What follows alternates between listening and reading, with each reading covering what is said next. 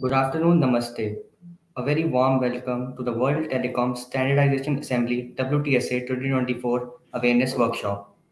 I, Jaskirat Singh, along with my colleague Chandrakanta Rathore from TSDSI, are your hosts for this workshop. In the beginning, we would like to play a short introductory video of TSDSI.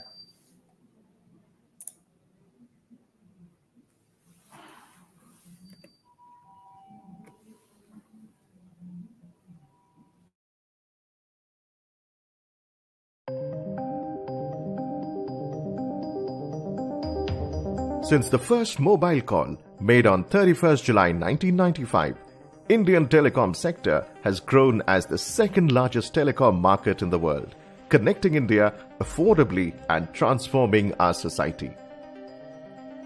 Despite the huge diversity in terrain, culture, user base, climate and constrained power supply and high population density, Indians enjoy the lowest telecom tariffs in the world. Therefore, our requirements are different from other regions. The global telecom standards ecosystem has been dominated by 3GPP and ITU. However, India's contribution was not significant until the mid-2010s. A need for an Indian telecommunication standards development organization that can reflect the diverse needs of our market and promote our IP on the global stage was felt. This was acknowledged in the National Telecom Policy 2012. I would expect a standard society to articulate India's concern on the international stage, which are India specific, and the world must listen to that. Because I see electronic manufacturing and communication technology also merging at some point of time. TSDSI is an autonomous, membership based body comprising entities from across the telecom ecosystem and application verticals. We are recognized by DOT as India's Telecom SDO. Soon after inception, we became organizational partner of 3GPP and joined the oneM2M partnership project, and the journey continues with further partnership agreements being signed up with other global forums. TSDSI's vision is to ensure that digital communication standards increasingly drive domestic economic and policy activities, thereby creating a leadership position through India's participation in emerging digital communication standards in global SDOs. Our technical activities are carried out in two study groups networks and services and solutions. Standards development falls into three phases pre-standards, standards and post. Our roadmap is driven by this philosophy and specific topics are taken up in task forces and technology roadmap item proposal forums. TSDSI, in a relatively short span of six years, has made a mark in the standards world. TSDSI's oneM2M standard for IoT, M2M applications and 3GPP IMT advanced standards for 4G have been transposed as national standards. 3GPP has incorporated support for NAVIC, the navigation system created by ISRO in the relevant 3GPP specifications.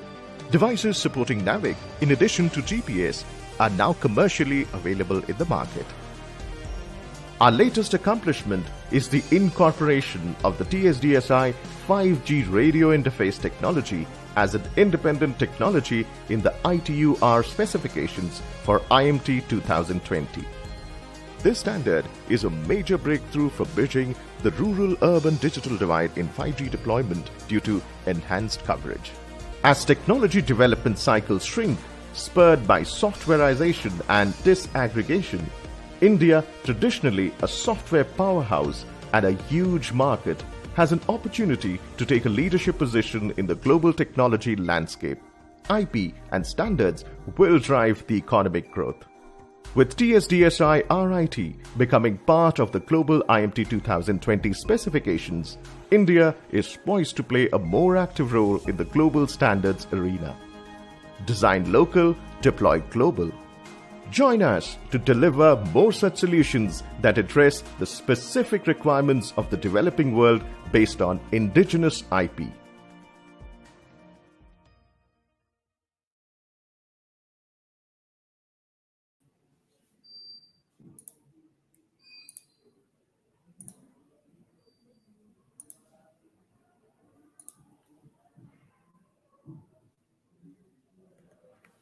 Uh, before we start the workshop, here are a few hygiene announcements. All attendees will be in listen-only mode throughout the workshop. If you have any questions for the speakers, please type them in the Q&A tab. This webinar is being recorded and will be posted on the TSDSI website within the next few days. Speakers are requested to kindly deliver your presentations within the allotted time durations. We are honored to have all the expert speakers with us today. Dr. Abhishek Thakur from IDRBT, Mr. Vishnu Ram from TSDSI, Mr. Sushil Kumar from Telecom Engineering Center, Mr. Avinash Agarwal from Telecom Engineering Center. Thank you everyone for joining this workshop.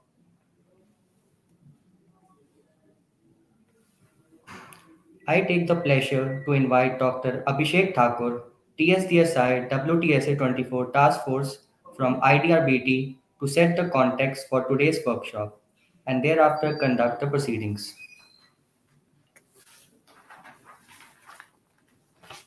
Abhishek Thakur works on 5G use case labs for BFS, open source technologies, and fintech collaboration at Institute for Development and Research in Banking Technology. His research interests include multimedia communications, financial inclusion, and rural ICT deployments. In a career spanning 25 years split across industry and academia, he has developed several global solutions for both product and services based organizations. Sir, the floor is yours. Thank you, Jaskirat. Uh, good afternoon, everybody. Uh, request Chandrakanta to present the slides, please. Yes, sir.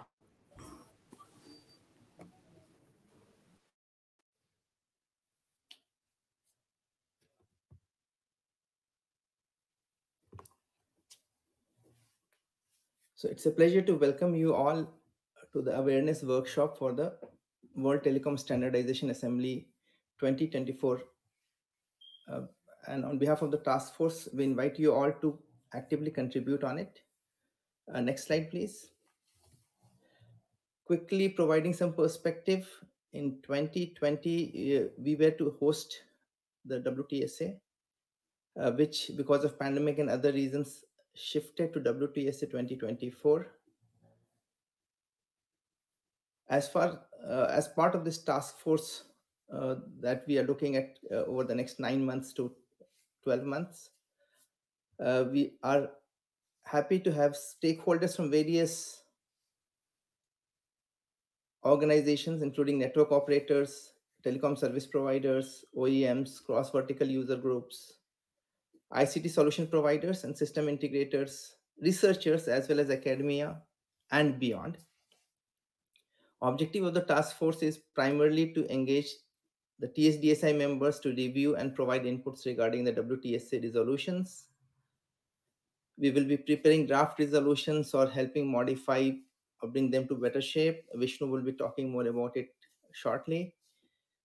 We would be looking at recommended and recommending suitable proposals and draft resolution for the Asia Pacific tele uh, telecom preparatory stages and then further collaboration with TEC.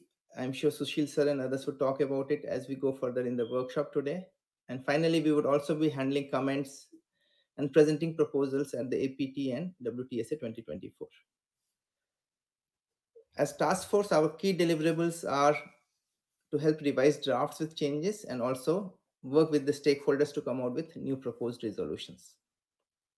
Next slide, please.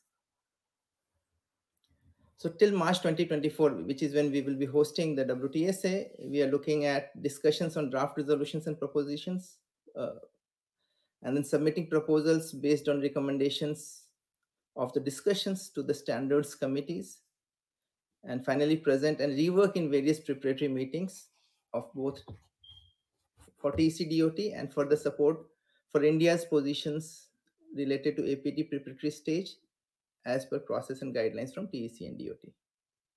So with this uh, brief, I would now uh, request Sushil sir uh, to deliver the opening remarks. Can we have Sushil sir's bio, please? Uh, Sushil sir uh, has been working as DDG Telecom, uh, DDG in TEC and leading the IoT division since 2014. He is an officer of the 1987 batch of ITS. Prior to this, he served in various positions and also as head of districts for 23 years in BSNL and DOT. Sir. Yeah, uh, thank you. And, uh, again, good afternoon to everyone. So let me share the some of the slides. Uh, it's uh, uh, an honor uh, to be the part of the WTSA preparation. And as India is hosting the WTSA 24, it becomes our responsibility, moral responsibility to lead the standardization work. And we should change the thinking of uh, the people, uh, the what the people says across the globe that uh, uh like uh, the contributions and the participation from India is much lesser uh, as compared to other countries like China, Japan, and the Korea. So we have to change this thought of the people and let us try to participate Uh, and uh, lead the resolutions uh, in Asia Pacific. Uh, this uh, uh, regarding TEC, I think everybody knows it is the national standards body NSB for telecom and related ICT sector designated national inquiry point for WTO TBT, technical barrier to trade for telecom sector, and BIS is for non-telecom item. Uh, TEC is mandated to coordinate with the ITUT and having national working groups in line with ITUT study groups. Uh, total 11 study groups are there. So TEC is having the uh, similar uh, national working groups. TEC is also participating in ETSI 1, M2, M3, GPP standardization activities at global level and in TSDSI and BIS in India. Designated authority to implement mandatory testing and certification of telecom equipment and designated authority to accredit uh, the CABs conformity assessment bodies. Uh, regarding the World Telecommunication Standardization Assembly, uh, the people who are working in the standardization domain, uh, they already understand the importance of the WTSA. Uh, the last WTSA was held uh, in Geneva in March 2022 as the study period of uh, this cycle is only of two years and earlier it was supposed to be held in 2020 uh, in Hyderabad, India. But due to COVID, it could not be held, and then uh, uh, the study cycle of the last study period uh, increased from four years to six years, and then WTSA 20, which was held in 2022, the study period is only two years. Now the WTSA 24 that is planned to take place from 15 to 24 October 2024 in New Delhi uh, in India. Uh, this uh, ITUT study groups, uh, this is a, total 11 study groups are there. And this TEC is having national working groups, having stakeholders from all members from all the related stakeholders, uh, including academia, standardization bodies, and uh, others. Uh, now, uh, this uh, uh, regarding the participation or the preparing the resolutions, it needs the expertise. And we hope the TSDSI, TEC, and all the related stakeholders coming together can uh, work on the resolutions, but uh, mm, a lot of study of the resolutions is very much required. Uh, regarding Uh, TEC, uh, like uh, mm, last time we have submitted a number of resolutions, but we found uh, in the WTSA 20 meeting, uh, this uh, not much leadership positions were available to India in presenting the resolutions in the WTSA. Uh, in the last two years, uh, uh, we have done some work in TEC, which have been recognized by ITU, not related with the WTSA, but I thought let it be brought to the notice of all the uh, members uh, participating in this uh, webinar. Uh, like six uh, technical reports of IoT domain have been posted by ITU on its uh, website, recognizing as an important resource for the global community. Uh, this uh, TEC technical document code of practice for securing consumer IoT uh, that has been recognized by a number of uh, uh, international bodies like IOTSF documents.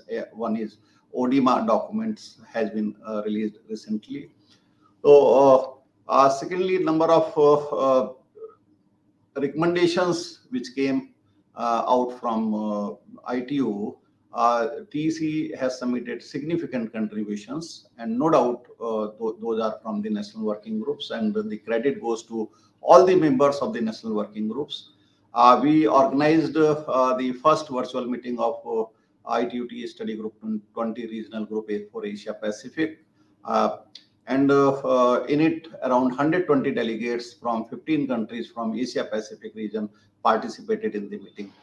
And uh, recently in Feb march february march this sg9 meeting was held in bangalore. It was also having a good participation so TEC is having the um, uh, experience of uh, organizing uh, the international meetings.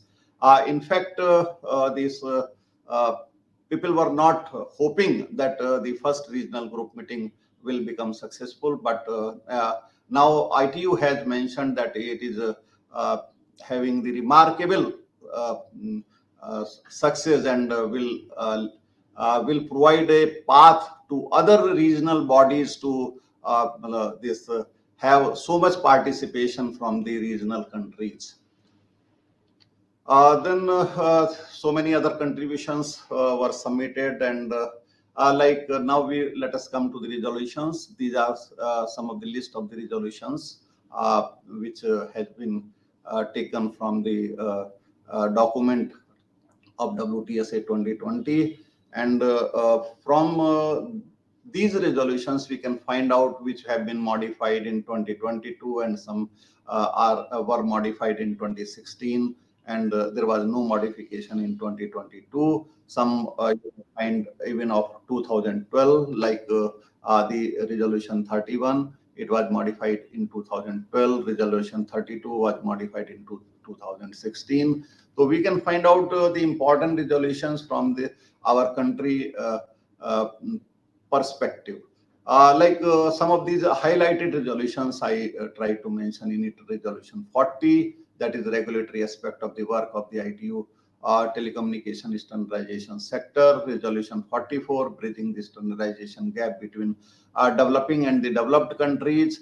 Resolution 50, that is on cyber security. There may be other resolutions also which may be important, but I tried to uh, this uh, mm, uh, mark some of the 15, 16 resolutions which seems to be important, uh, but the, this figure may further increase.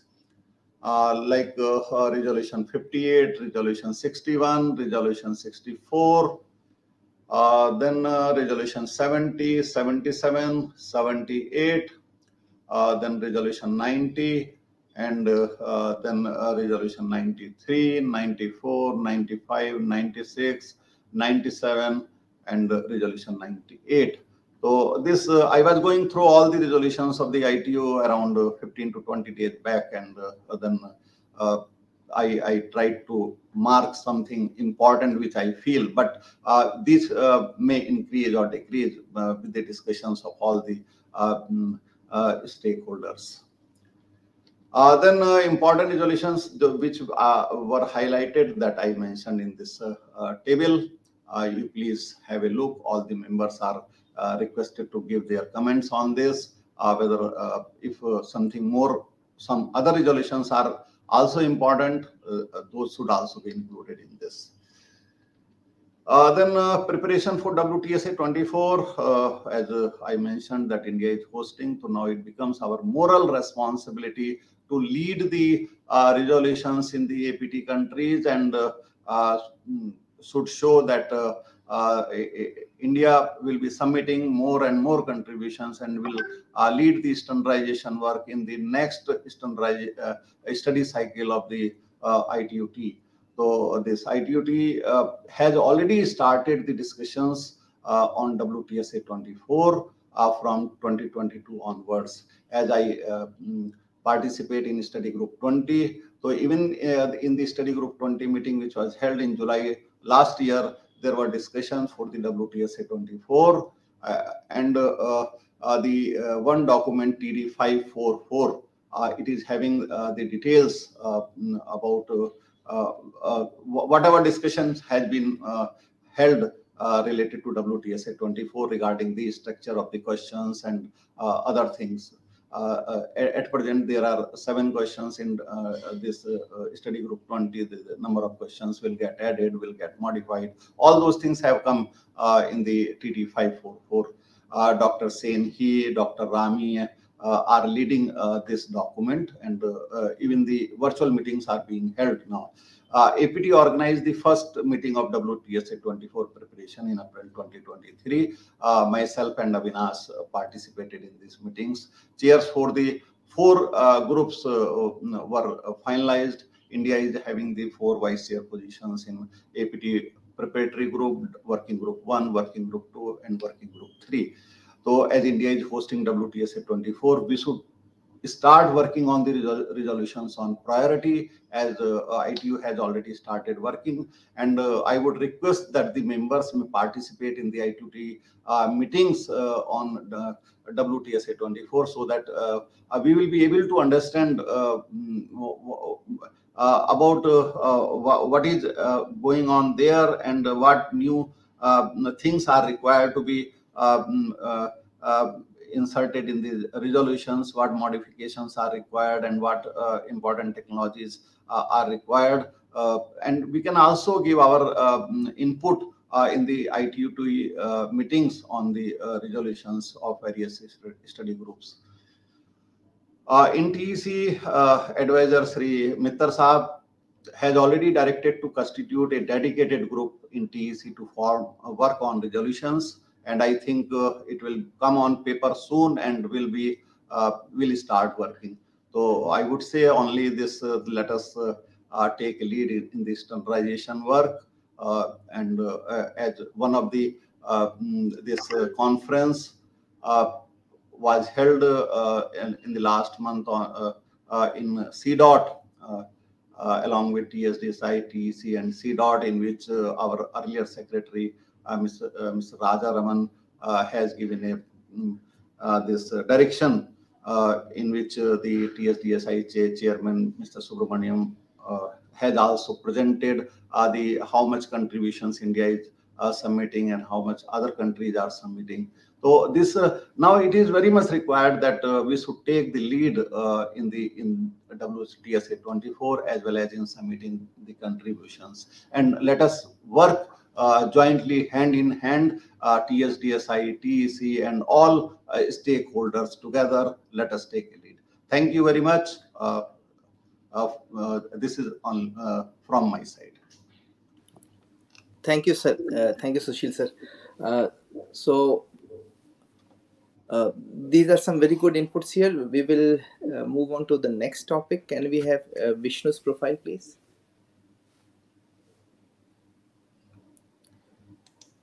So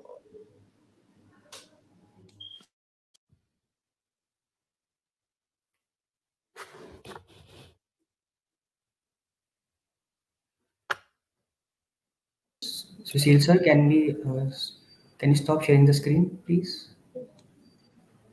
Uh, yeah, sure, sure. I will stop. Thank yeah. you, sir.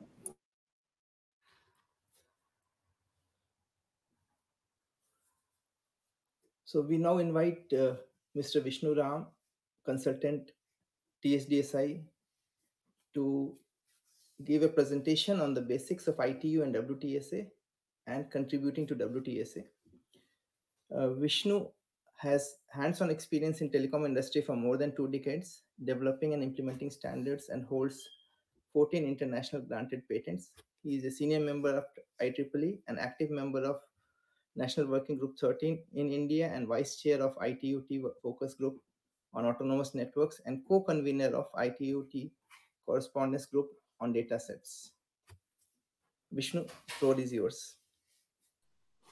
Thank you very much, Abhishek. Yes, uh, I will go through some of these slides. Okay. Mm.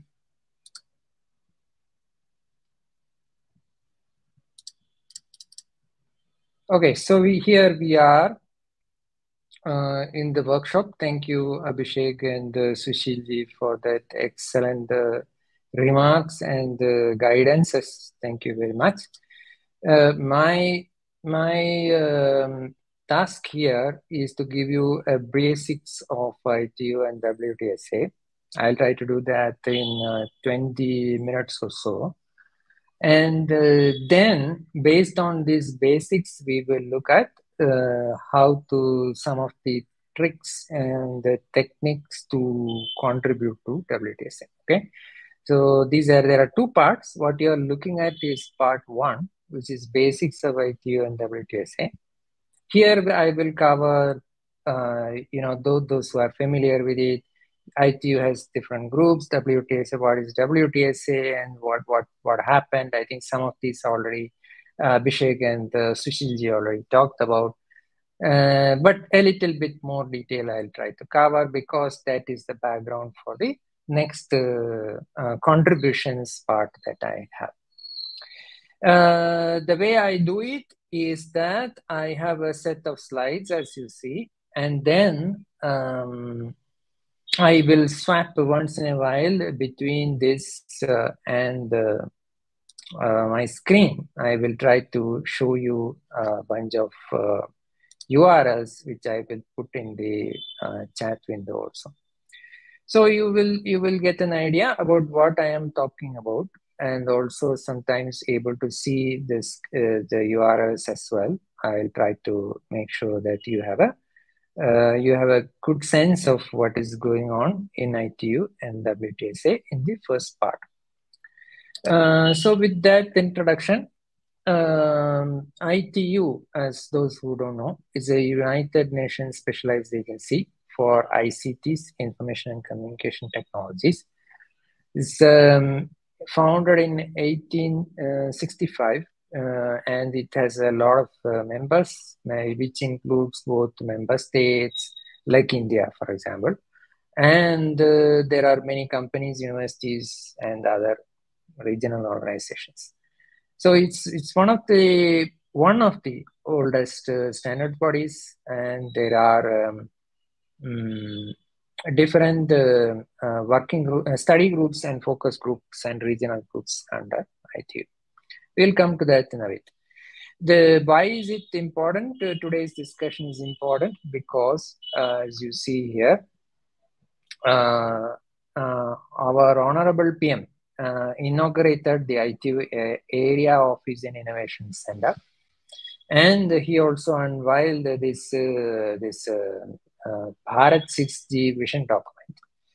Uh, in that process, there was ITU Secretary General uh, Dr. Doreen, Miss Doreen, uh, she she told us that India is a role model for countries looking for digital transformation to grow their economies. That's actually the statement that is there in the Press Information Bureau.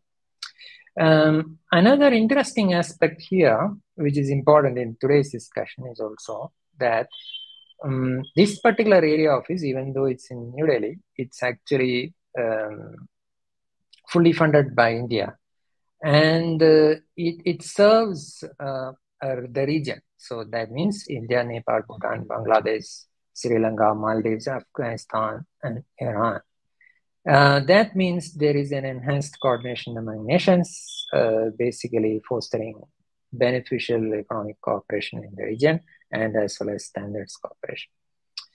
Another interesting aspect is that reducing the regional divide is one of the key priorities. So that is what uh, uh, set forward by the Prime Minister, and we will uh, stick to that. And you also know that G20 presidency is with India now.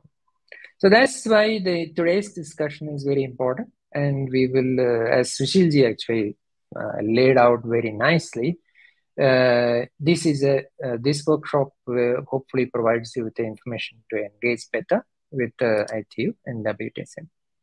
So what is all the, what what is this WTSA? It's, it's a World Telecom uh, Standardization Assembly. It's held every four years, uh, as as Abhishek and Sushil just now mentioned, and uh, the it defines next study period uh, for ITU-T. That means that the the every four years uh, WTSA happens, and what standardization needs to be done during the next batch of uh, next block of four years is is uh, basically uh, laid out in this uh, WTSA.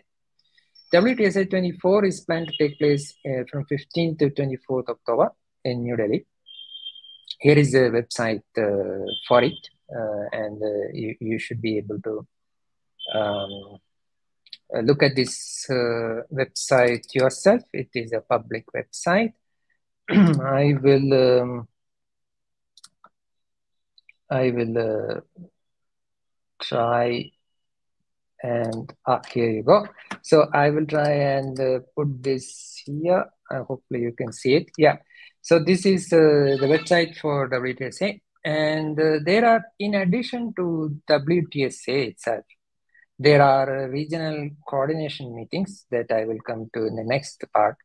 And there are preparatory meetings, and there is also a global standards symposium uh, that happened in 2020. Um, I mean, in 2022 and uh, uh, women in standardization uh, expert group wise uh, expert group as well which happens in um, i should say preceding uh, the or or along with wtsa also so you might want to uh, track if you are into if you are into standardization technology field then you might want to actually look at this kind of preparatory meetings GSS, women in standardization, WISE group, and so on. Uh, this might happen along with uh, the WTSA. Uh, for example, if uh, for 15th is WTSA starting, 14th will be GSS, Global Standard Symposium, and so on. In case of doubts, please reach out to us. We'll make sure these, these meetings are in your calendar and you are able to register and join. Um, regional preparatory meetings. So there is some some introduction required for regional preparatory meetings. Uh, for example, each region, Africa, for example, has African Telecommunication Union. Americas has CITEL. Um, Arab states have uh, their own their own regional preparatory meetings. Asia Pacific, that's important for us. APT is the uh, preparatory meeting which is done from from uh, Asia Pacific TEC is the main focal point uh, for coordination and compilation of various suggestions and inputs from India, aligning with the Asia Pacific Telecommunity, APT for WTSA. So basically, whatever we discussed today, uh, whatever happens in the workshop, whatever inputs come from workshop, as well as the task force that uh, Abhishek mentioned, they uh, mm, funnel into uh, the TEC uh, um, group that Sushilji mentioned. And then it is taken to APT and so on. I have a slide towards the end which describes the process, no worries. In Russia, for example, CIS, uh, Regional Commonwealth, is the, is the um, regional preparatory meetings body. In Europe, uh, CEPT handles that preparation. So we are not alone. Uh, that's what I'm trying to tell you, that we, we have um, we have uh, other bodies who come up with their own work and such workshops and other vishnus other vishnus who look at this kind of work in the other parts of the world they br- bring these uh, resolutions or documents which are part of WTSA from the preparatory group into uh, from each of these regions into the WTSA. So that's what essentially the process which happens. Um, some important um, um, wordings, uh, WTSA informations, you, you will hear these words going forward. Uh, TSB circular that is from the from the Secretariat of ITU that provides general information. Circular comes with numbers. Circular one provides general information on ITU activities.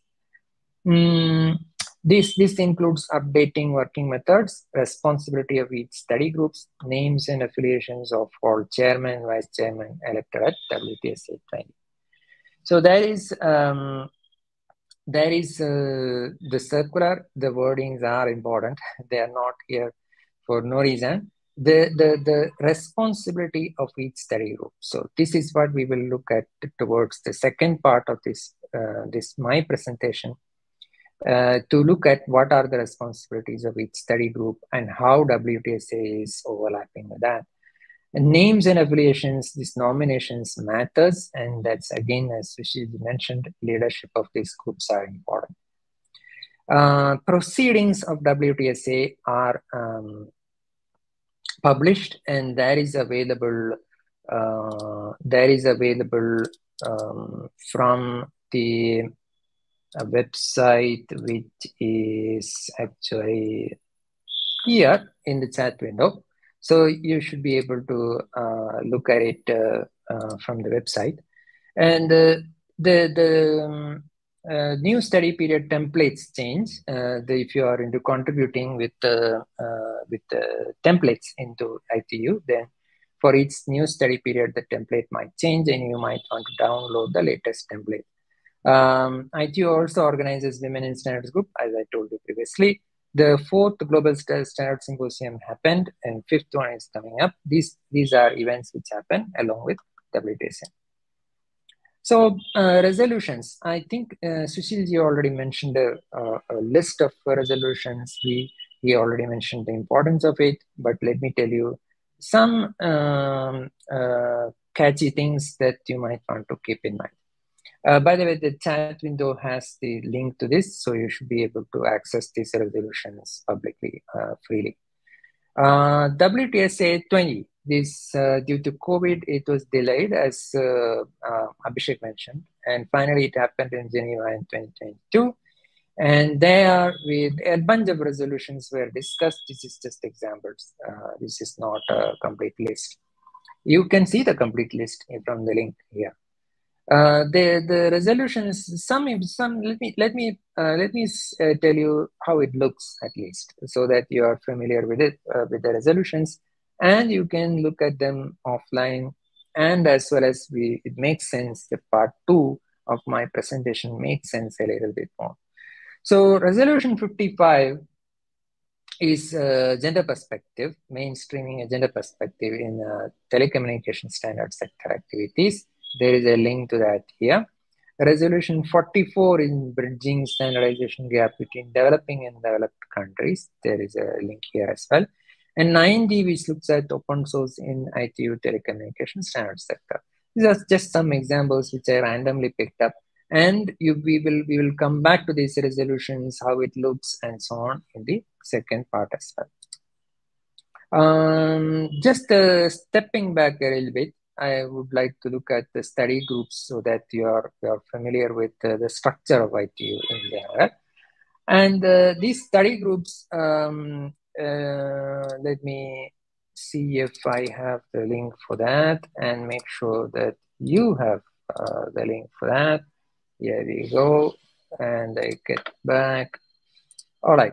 These study groups um, actually uh, make the uh, normative standards. So in case uh, you are into, let's say, core network, IMT 2020, IMT 2030, orchestration, RAN, any such functionalities, then probably, probably these study groups are the thing for you. It is the place where uh, normative standards are made in addition to supplementary documents which are informational in nature.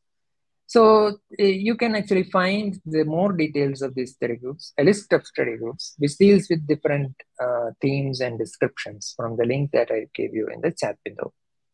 Uh, let me take some examples. So study group 13 looks at requirements, um, etc. for future networks. So this, this is where a lot of action happens for architectures, use cases, functional capabilities, APIs, etc. for future networks.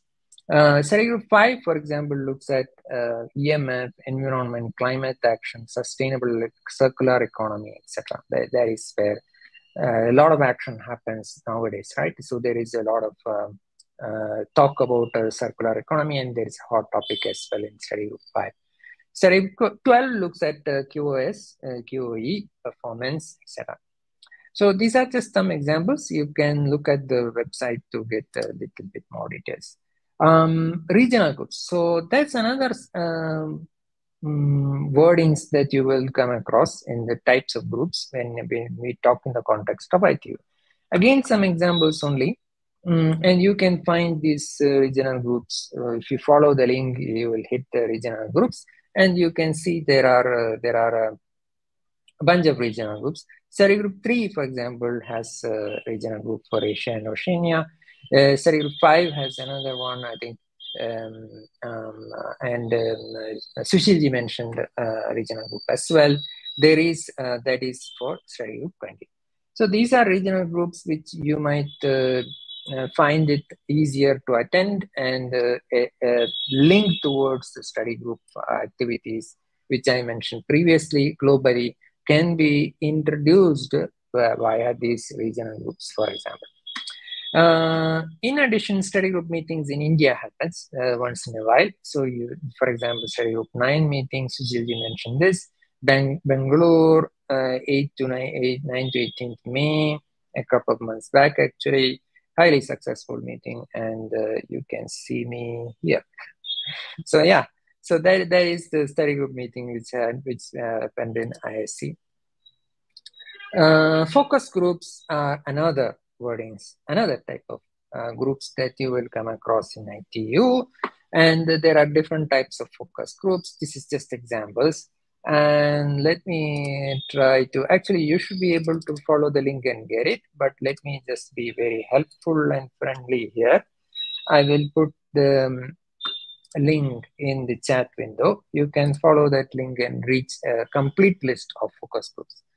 So this uh, for example there, there is a, a focus group on cost models and affordable data services fgcd and that provides a platform for studying, exploring the various cost models and so on. Um, this, uh, uh, some of these focus group meetings happen in India as well. So I would strongly suggest to track uh, these um, websites of these focus groups. And if you have doubts, if you have uh, questions on how to attend and register, I have a bit bunch of slides in the in the, the, at the end of this presentation which I'll tell you how to uh, join. And Chandrakanta and Secretariat colleagues are here who can help you to join these meetings on behalf of uh, TSDSI as well.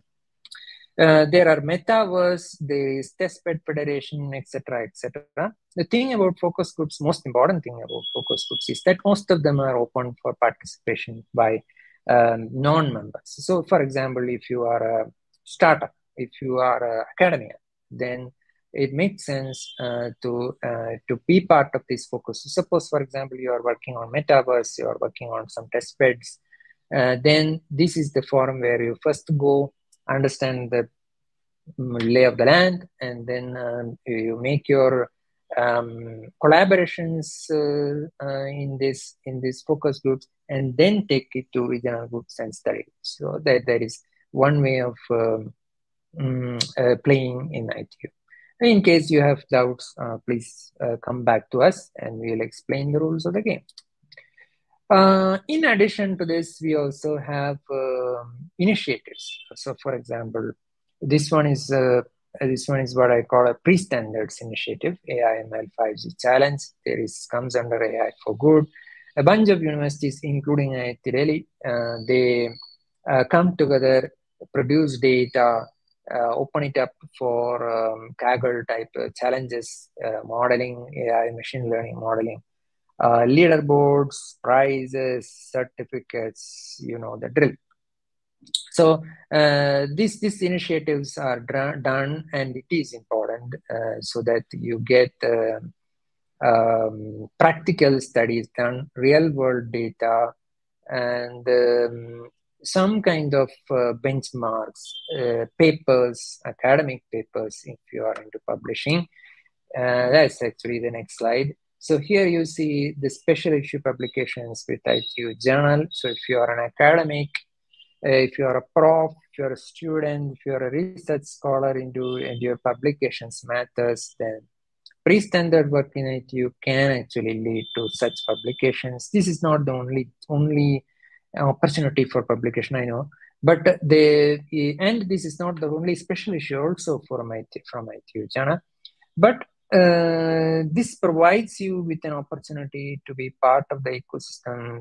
You know, go go with the data, go with analytics, produce GitHub code, reports, slides, papers, all in one package. So you are you are basically playing a team job. And for example, last year we had uh, we had about uh, 22 authors from uh, across the world coming together to write a very comprehensive paper on AI and machine learning challenge that we did in ITU. Uh, if you are um, if you are paying money, paying money for uh, courses in uh, different uh, forums, um, I don't know, Coursera or something like that, so if you're doing that, then this is probably the place where experts come free of cost, uh, give you webinars, uh, tech, technology webinars, and uh, you can find all of them free of cost. And let me give you the link here uh, and go back. Uh, so, right. So the, the, the, the, this link will take you to the AI for Good Summit. Along with it, there are workshops, webinars, which are provided by experts, including our own. so you can see Brazil's uh, talk, and that is uh, that happened the last uh, couple of months back uh, from IIT Delhi. So there is a bunch of uh, good uh, technology material webinars which are put together as well. This is again important in the context of WTSA. I will come to that in a bit. Uh, in case you are wondering how to get into all this and um, you know how to attend the meetings, easiest way, easiest way is to write to us and we will guide you how to do it. But this is just um, let me say, a, a, trial of what is going to happen uh, to, to you once you write to us. So step one is that you have a ITU TIES account. You can create it here if in case you already have it. If you don't have it, then you can create one here. Uh, write to us and we can guide through all this, uh, how to do it. No, no problem. Okay. Uh, then once you have done this, then you select the meeting uh, meeting link which you are interested in. Here I have put here meeting registration link from the announcement. Once again, my secretariat colleagues Chandrakanta sends out this registration link from us. Look out for that, and uh, and uh, you should be able to get it uh, from the emails or WhatsApp groups, which helps you to register as well. Once you have the registration link, then you select these boxes over here, click whatever, you, whatever matters and submit the registration on behalf of TSDSI. So we, we help you to register the meetings and the registration comes to the designated focal point, in which case it is approved. So there is the way you get into this uh, game of um, mm, meetings.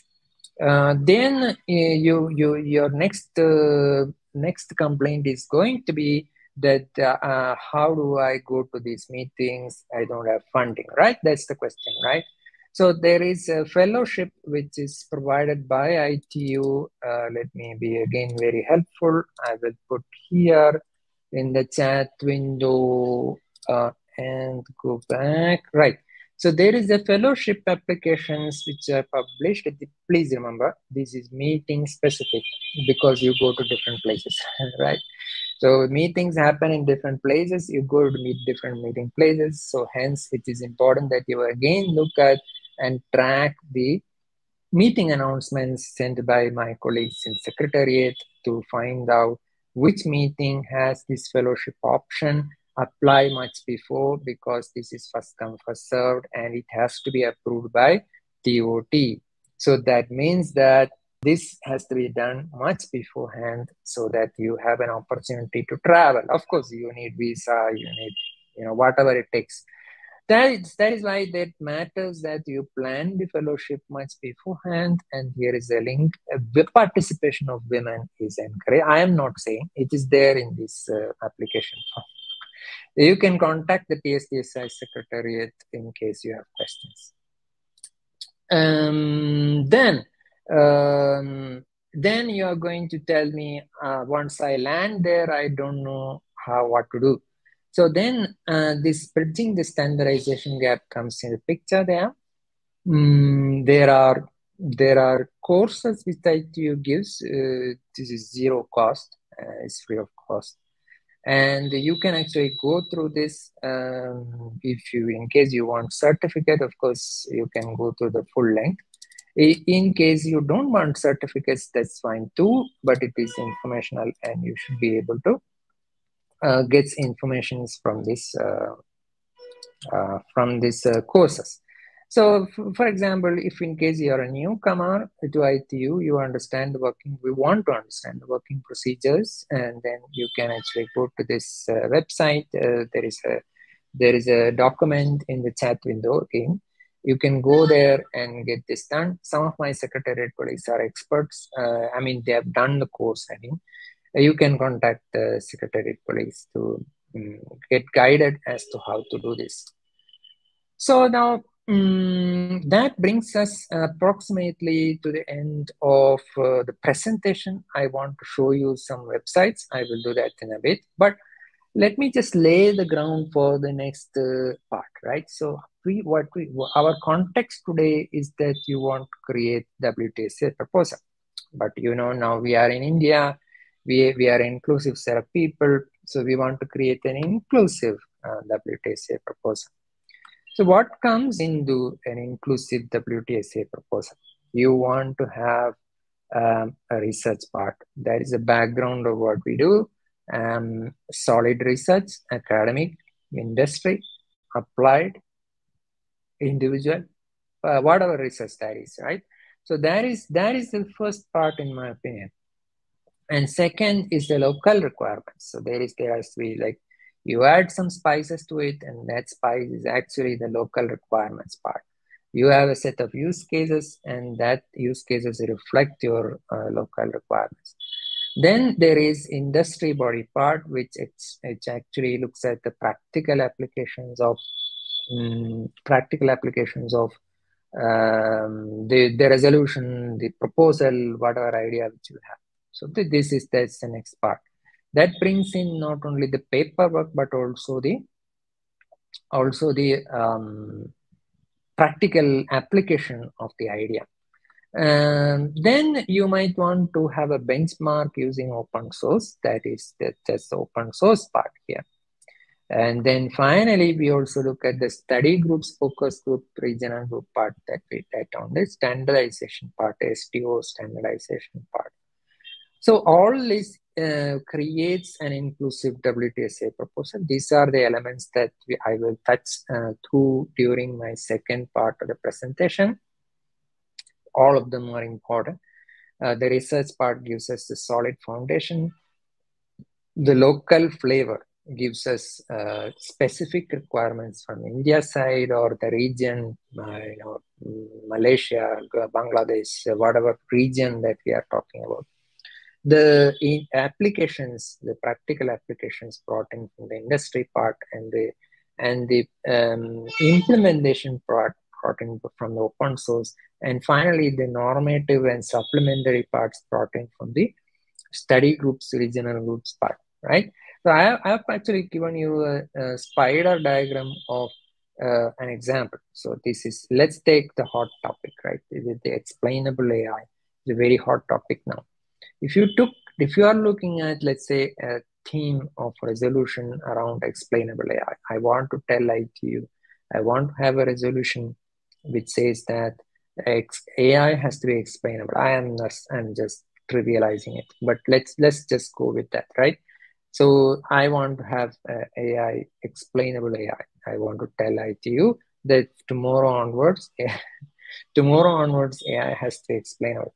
So uh, if, if you go with that, if you just play along with me, so if you go with that, then uh, you need a set of verification and test beds to explain that this explainable AI can be verified. Um, that along with it uh, will tell you, let's say, um, your own university test bed, what are the requirements which are coming from that, your experiences in test setting that up, etc., etc. Right? So that is the that is the test bed part. There is also a data quality aspect which comes in tells are the data sets fair? Are the data sets balanced? Are they public? Are they um, having missing values or biased? Right. So that that is the data quality aspect. Are they from real uh, real world, reflecting the real world at least? That is the data quality part.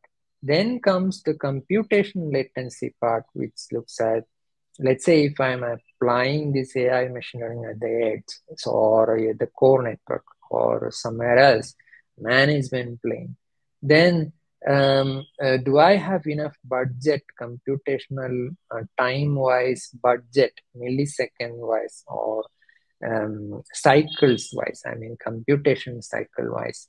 Uh, do I have the budget for uh, the latency, time latency, and the number of cycles? Um, security is another important aspect. I want to be trustworthy. I want to be able to tell that this is trustworthy and so on. Prove prove that it is trustworthy. Uh, the cost in terms of transport of data, if let's say if you are into IoT devices which has no computation power to train models or even infer models, then you might want to send the data or you might be forced to send the data to some edge device or core network device in worst case where you have uh, ability to train models and send the, uh, inference or trained models back. So this is kind of transport of data and models is another aspect that one, one needs to consider. And then finally, I might want to consider private privacy, data privacy, and other policy issues as well. So the, the this combo, combo this uh, spider combo of things has to be considered when I look at this small concept of explainable AI. Just taking a simple example. I can I can replace this with quantum safe cryptography, blockchain, whatever is the hot word that you come up with. So that is um, that is a taste of what uh, part one brings you. Uh, let me uh, let me before uh, before I go to um, uh, part two, I want to now uh, look at the some of the uh, websites that I talked about, uh, which are here. So you can see these are the study groups that I mentioned, you know, and that is our Prime Minister with Doreen, who is the Secretary General. This is from uh, Prime Minister's office. This is a website uh, from, from PIB. And this is the WTSA 24 website where you can get documents, you can get related events, etc., etc., uh, from uh, WTSA 24 website. Okay.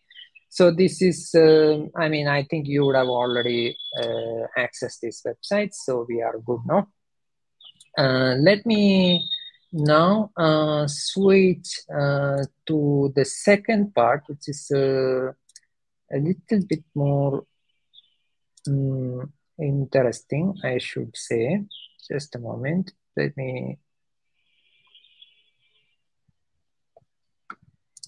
make sure that you are seeing the right one. Okay.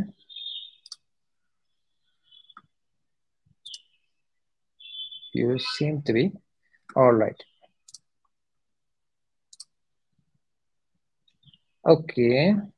Right. You're seeing the right one.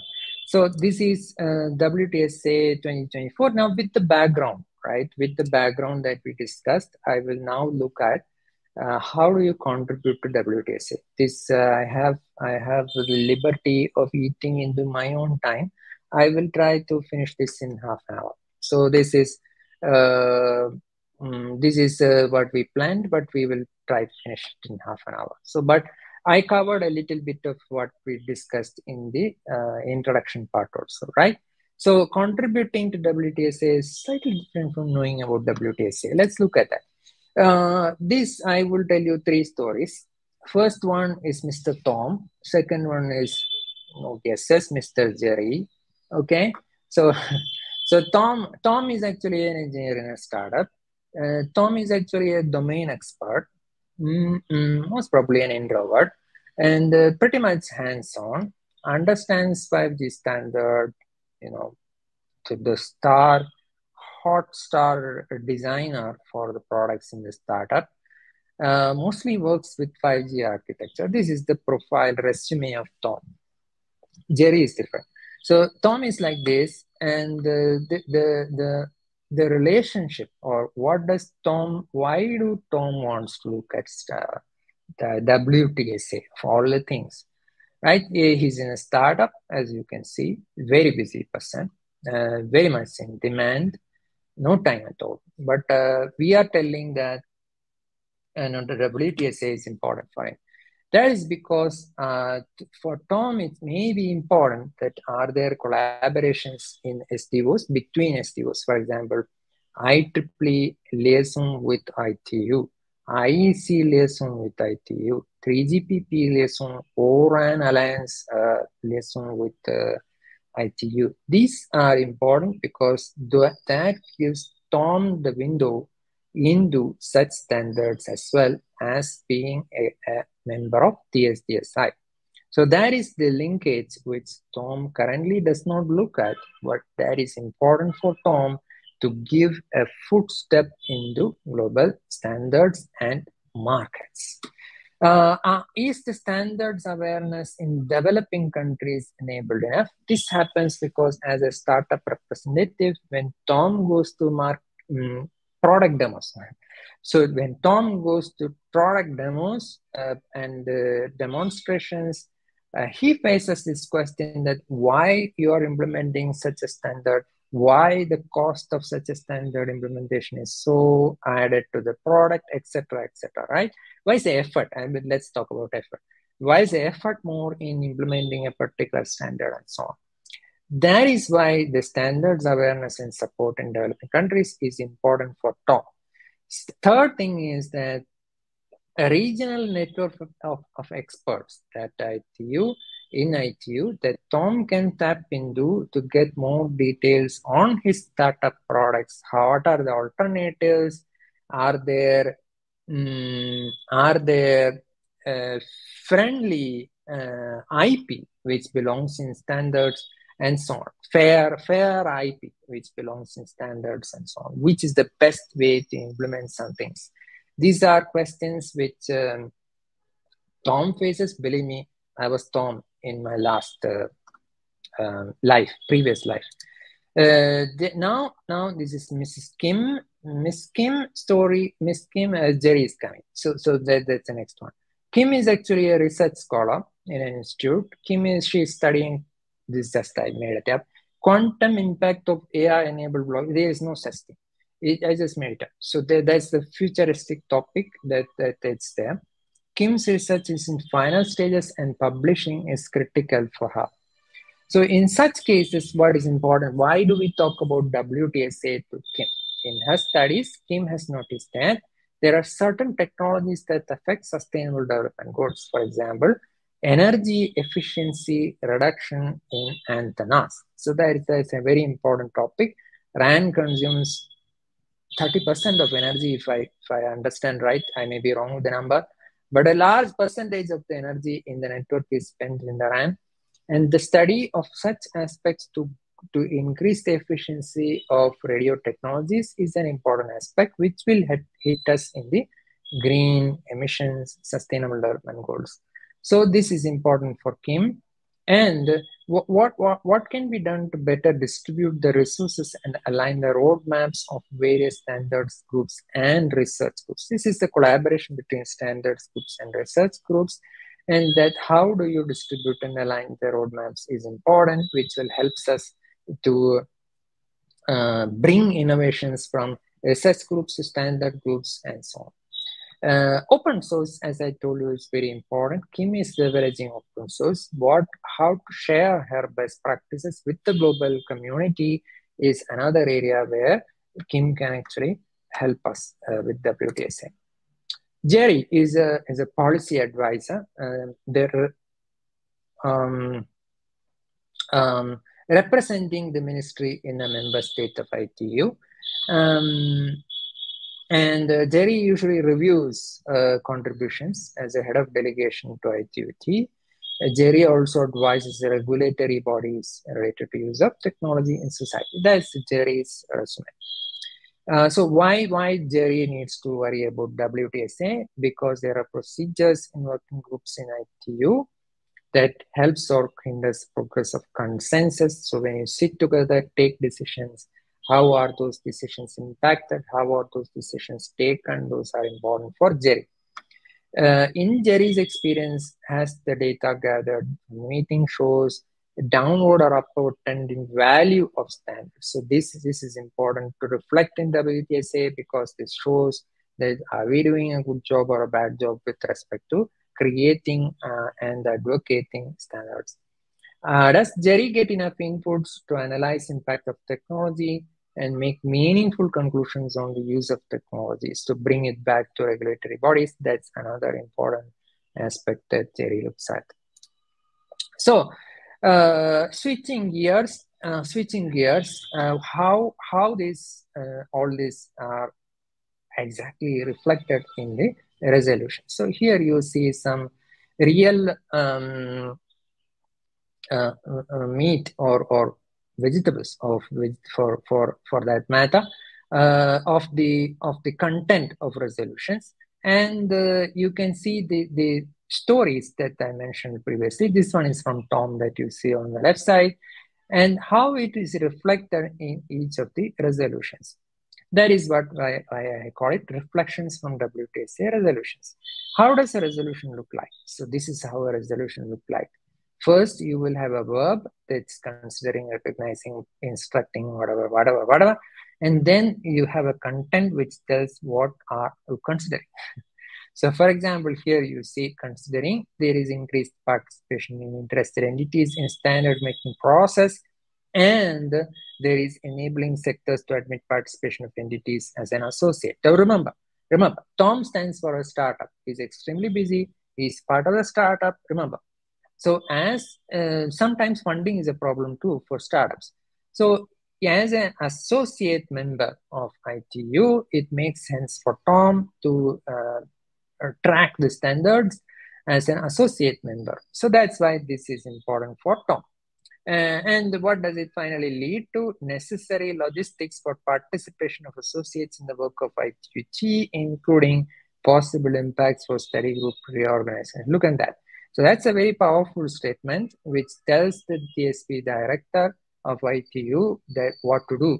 So Tom basically gets to uh, control, mm, influence is a better word, influence the uh, the director of TSB to make sure that stand, startups are able to uh, mm, participate, not only participate, but also uh, possible impact of uh, possible impact of standardization that is 31 uh, just i have a list of urls i will send this one to you so that you can look at it offline there you go uh, possible impacts uh, of study group reorganization uh, what happens to Kim?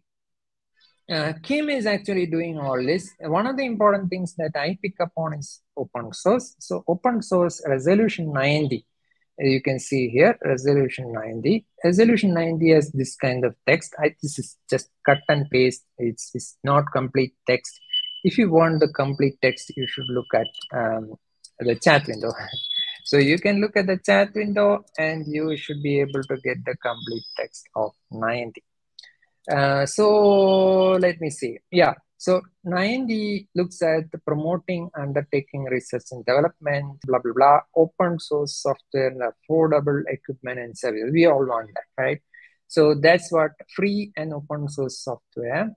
And finally, it instructs all applicable study groups of ITU to consider output on open source, study the value of using open source to develop reference implementations of ITUT recommendations.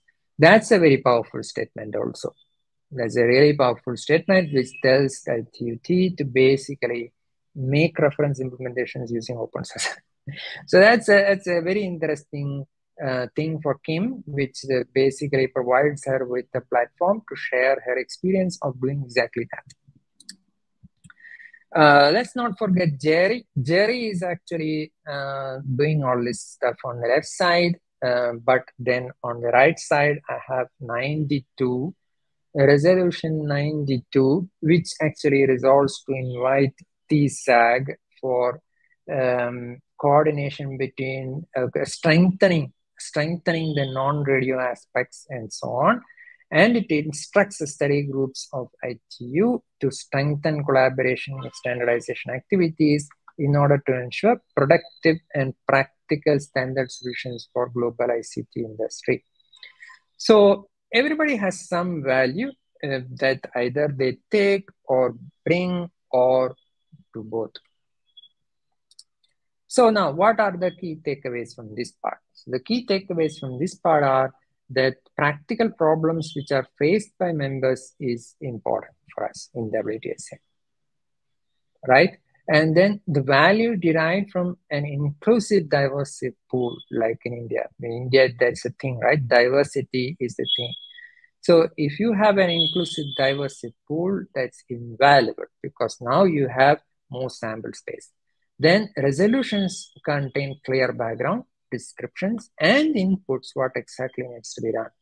They set the direction of study and various parts of ITU, including study groups, are influenced. Okay, now I want to look at the sum of the sample 2020 resolutions so that you have some idea about what we did, what is possible, what is not possible, what are the comments which happened, etc., etc. So this is actually public document. Uh, let me see. I have a link to that. I believe I have a link to that somewhere. Uh, just a moment. Um, so there you go. So th there is the link to that. Uh, it's actually a public document. Resolution 89, which promotes uh, the use of information and uh, ICT basically to bridge the financial inclusion gap, financial inclusion gap in banking and so on. So um, so in this part, there is uh, uh, there is uh, uh, there is a there are there are there, are, there is recalling and considering parts. As, as I told you, there is a verb and uh, and uh, and the paragraph which follows it. Recalling that financial inclusion is a key enabler for reducing poverty, boosting pro pro prosperity, and so on. then use of mobile phone technologies is an enabler and considering that um, uh, the need for regulators to collaborate with one another, blah, blah, blah, is important. So here is the change which happened in resolution 89 in 2020 resolution. So one is that resolves to conduct studies and develop standards uh, for consumer protection, quality of service, big data, security of digital financial service transactions. That is the resolution and instructs the TSB director in collaboration with other directors to use for usage of crowdsourcing.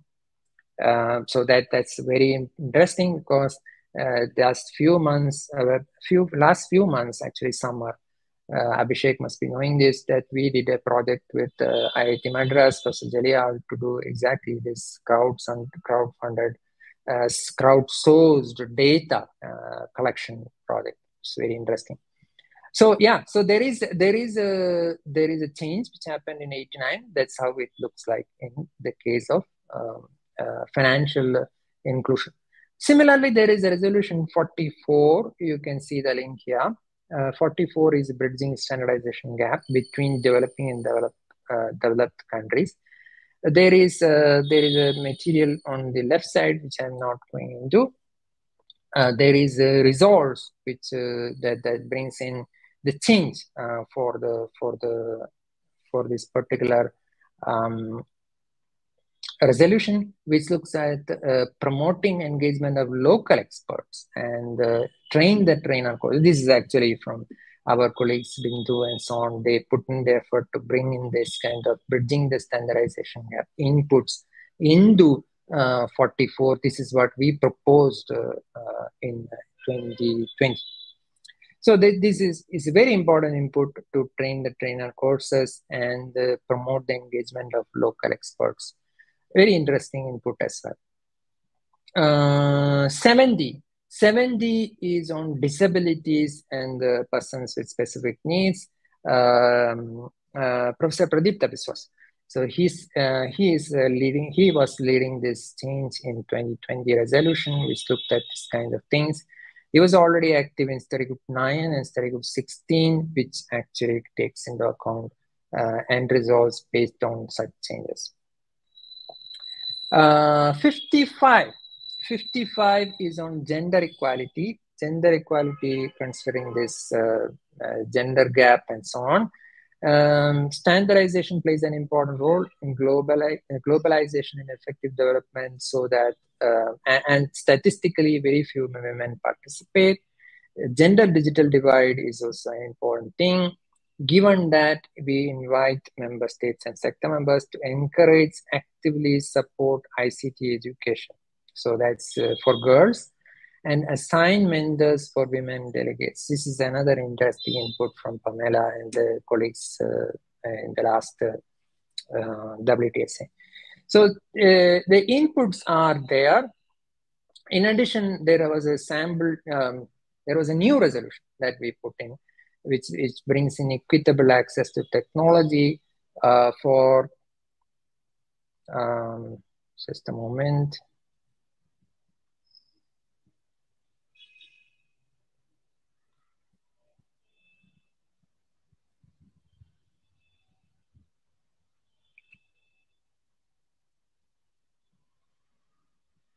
Okay, uh, for for uh, equitable access to technology and the, the, the, recognizing the development and the development of fair and inclusive artificial intelligence technology. So that is that is the technology that we talked about. This one was proposed and selected from TEC, and we discussed this in Asia Pacific uh, preparatory group as well.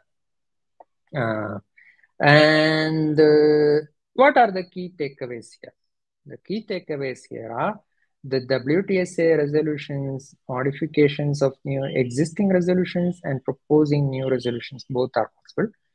Overall background knowledge of resolutions resources open source are needed. And here is where we should be able to help.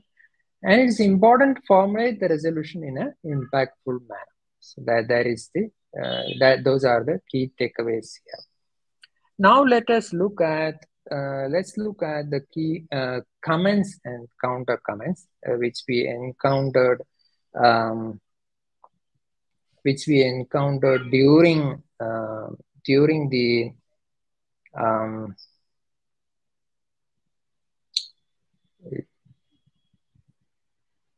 just a moment. I need uh,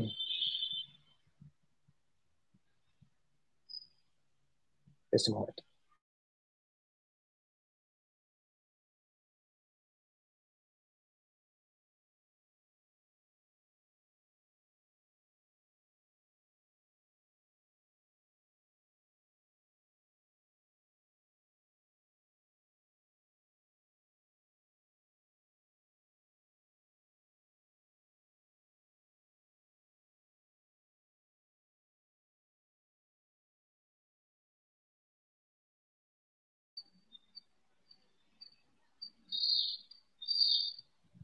All right.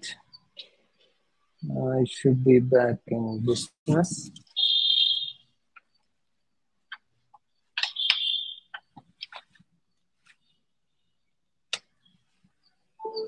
Okay. Uh, yeah. So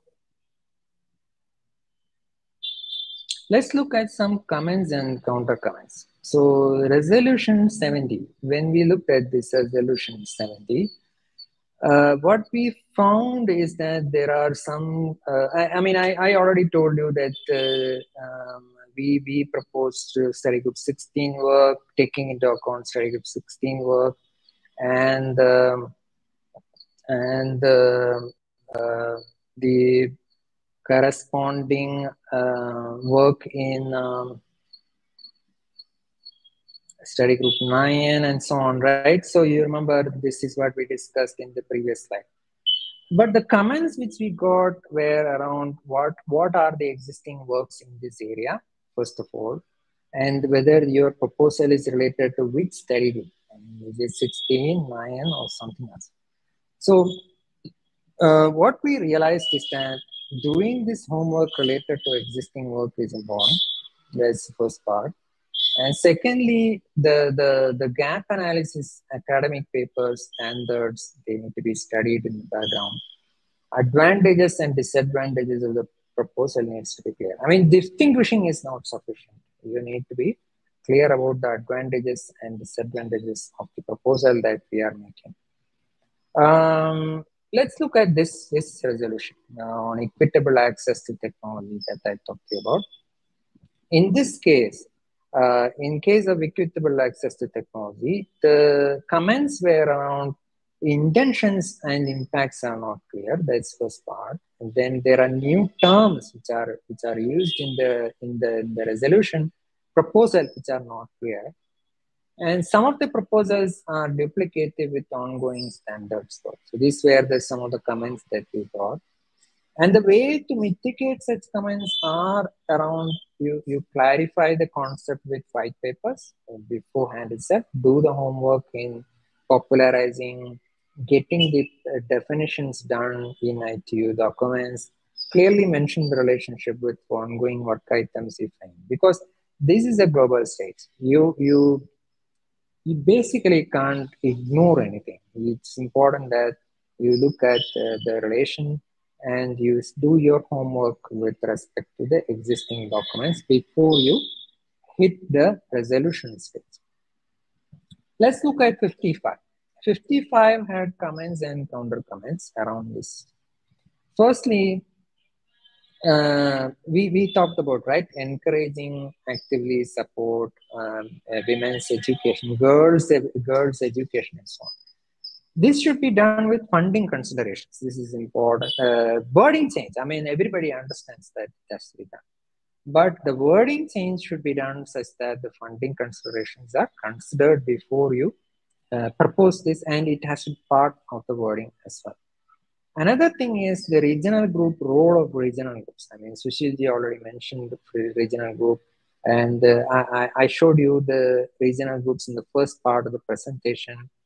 So it's important to keep that background in mind before we propose this, uh, this kind of uh, wordings in the resolutions include the role of regional groups as well. So the first thing, the, the, the learnings here are, it's important to understand the operational constraints and problems of ITU. And secondly, coordination and support from regional partners are needed. I mean, uh, for example, in workshops like this, workshops like this can be utilized, task forces uh, can be utilized to bring in support and coordination from regional partners uh, wherever possible.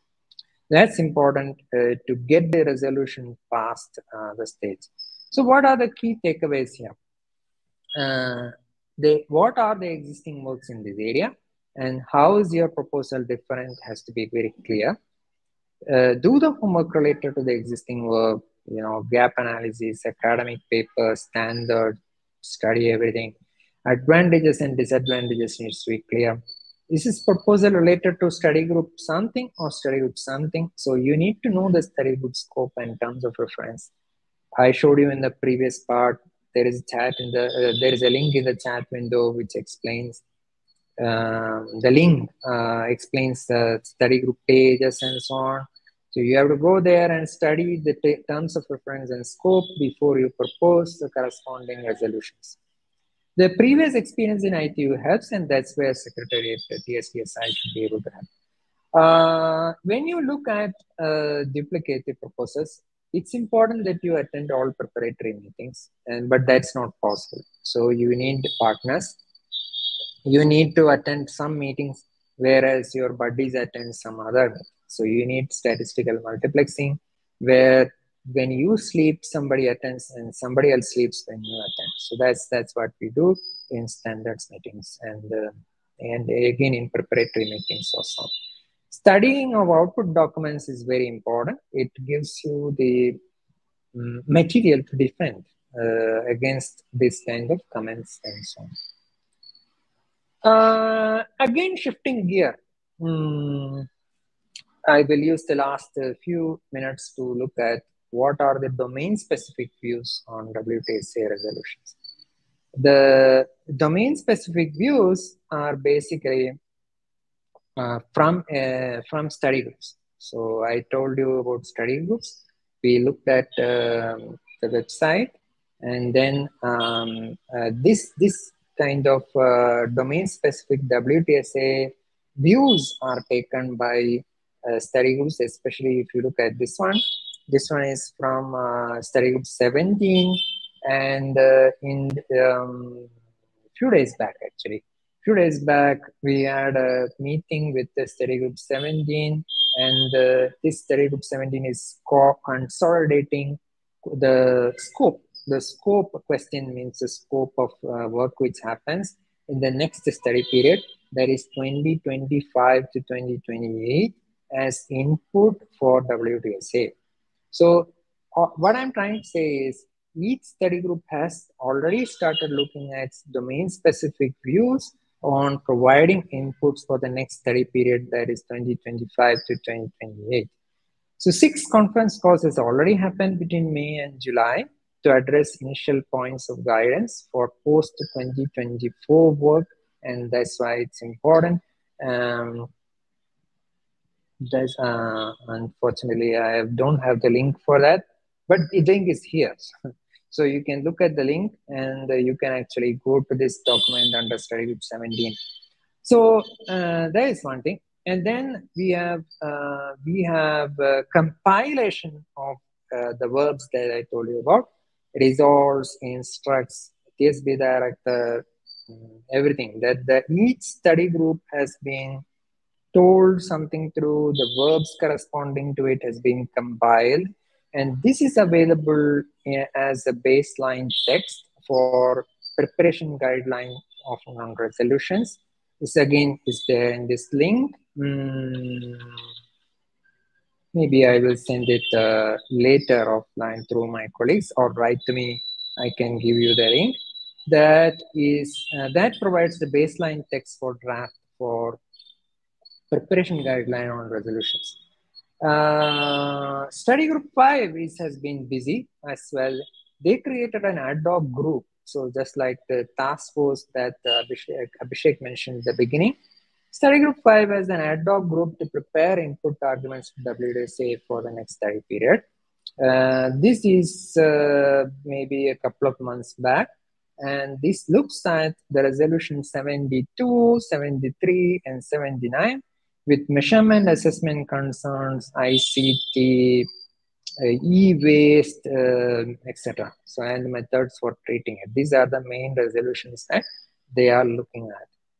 Uh, study group 13 has been busy as well. They have been looking at the next study period. NSP stands for next study period. The NSP report on the NSP ad hoc session is provided, and that link is here with the discussion paper and so on.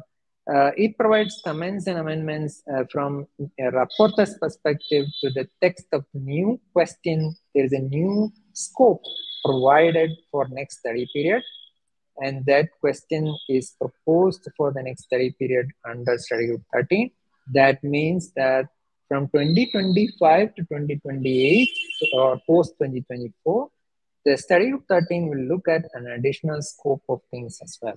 So if you want to look at what is that additional scope, you need to read this particular document. What I'm trying to say is that the what is the study group's view on the next study period? That is 2024 to 2028. Are there changes to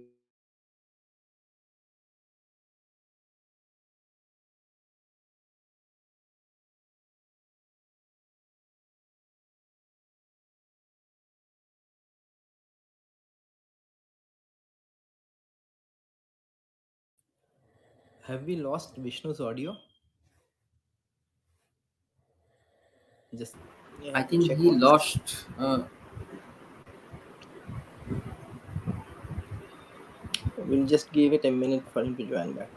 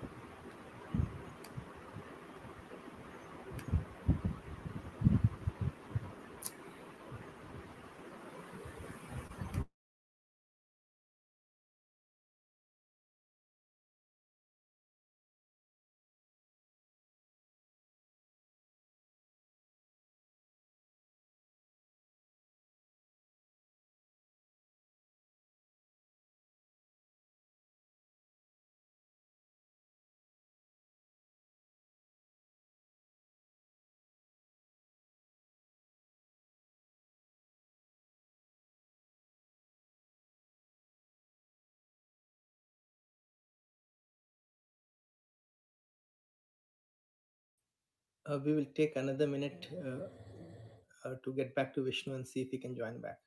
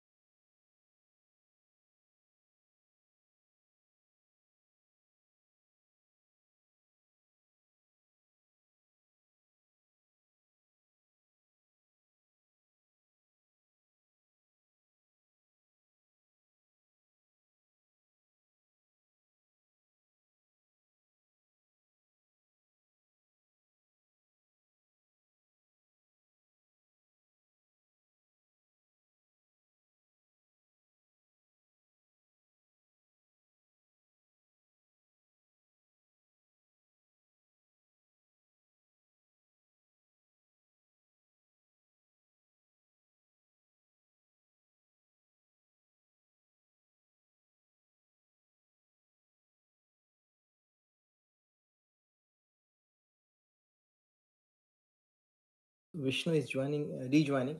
Let's give him another minute.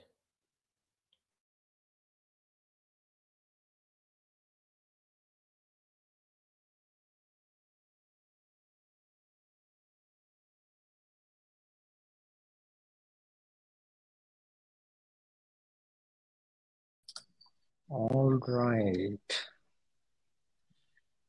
Technical difficulties. Uh, sorry about that.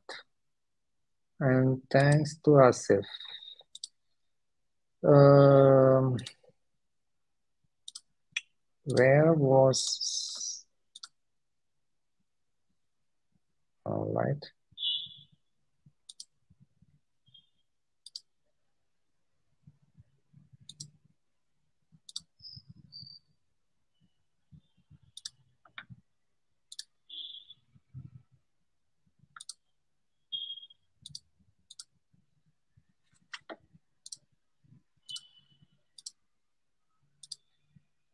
all right um let me see okay uh Asif, can you see key takeaways four? It's visible, Vishnu. Thank you. Thank Uh, you. yes, sir. Thank you. Thank you, Abhishek. Thank you, Asif. Yeah, so that this is the key takeaways for um, does does the are there new questions to be proposed as in the case of study group 13 and does convergence need collaboration so that means new relationship between itu and other SDOs as i explained to you previously ieee 3gpp O-RAN alliance whatever that is and mapping to new sustainable development goals are required or not so that is uh, another point so coming back to our flower picture right so this is uh, wtsa how to create an inclusive proposal in this flower picture. We looked at um, uh, we looked at um, research part which is a gap analysis done via peer reviewed papers.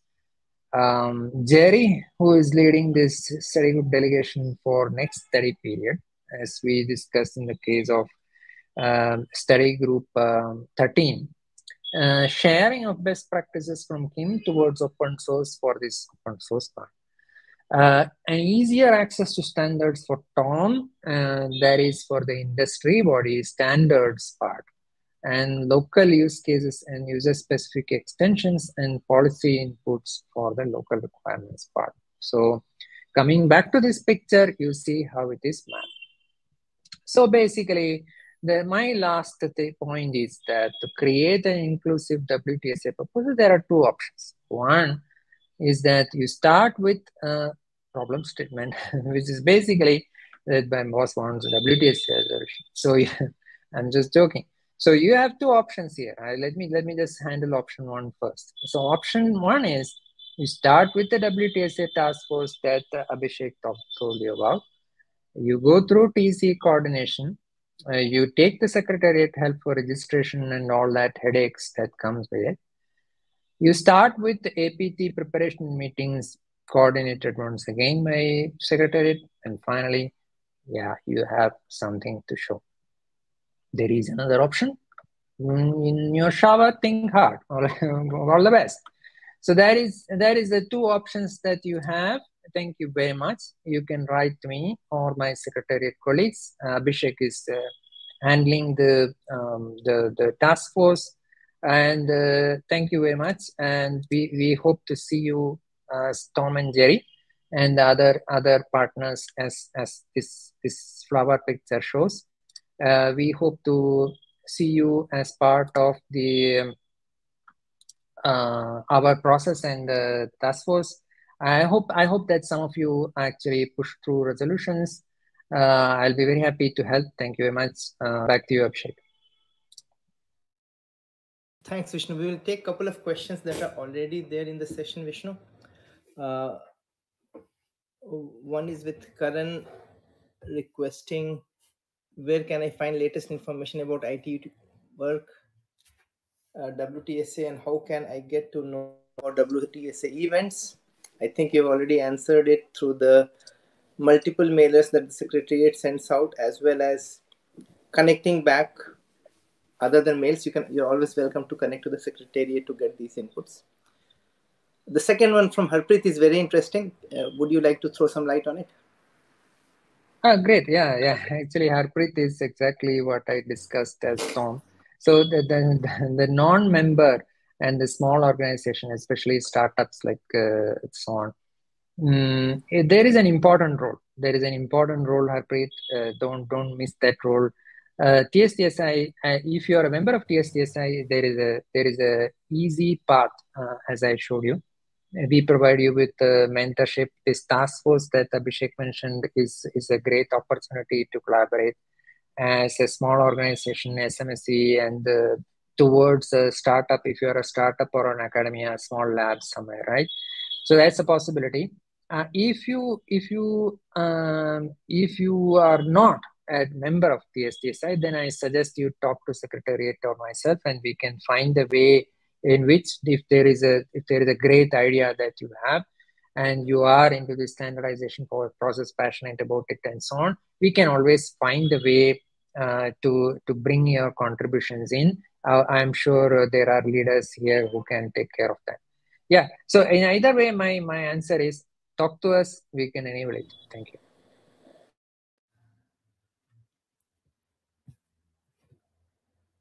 and I think we have time for one more question if somebody has. Uh, there was a chat feedback that one of the links working. Uh, I'm not on a PC right now. Vishnu, can you check it out once? Mm, ah, okay, okay, okay. That is uh, resolution 89. Uh, no worries. I will uh, find it and uh, put that uh, resolution link in the chat. No worries. No.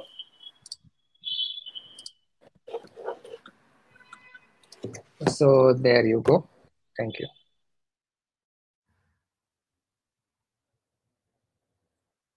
Fine.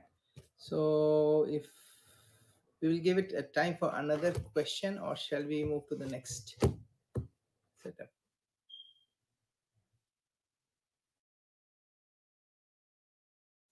Any other questions, please?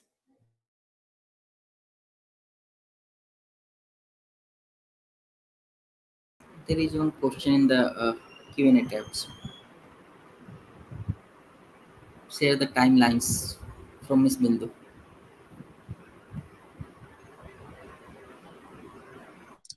Oh, okay. Yeah, yeah. That's a that's a great question as well. Mm, so the timelines are the, for the preparatory meetings, right? It starts. It has already started. I I showed you the preparations done by the study group. Uh, uh, 17, 13, 5, and so on, right?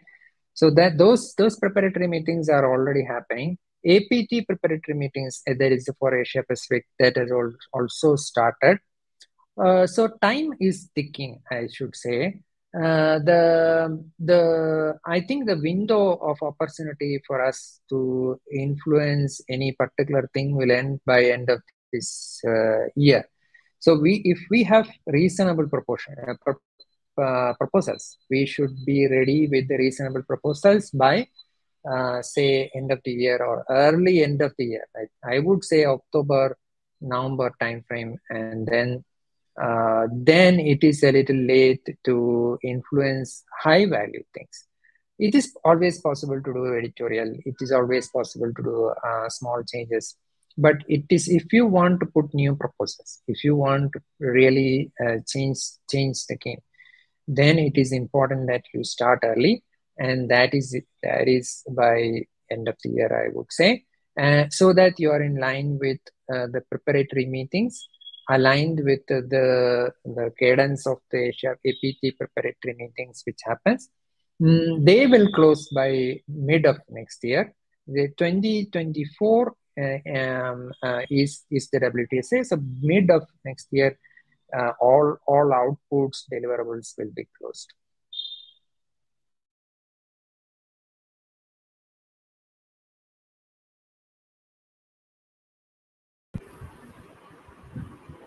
Another one in the chat section, sir, from Mr. Umesh Singh.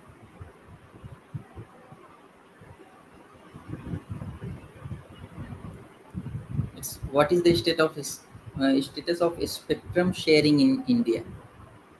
The question is from Umesh Singh.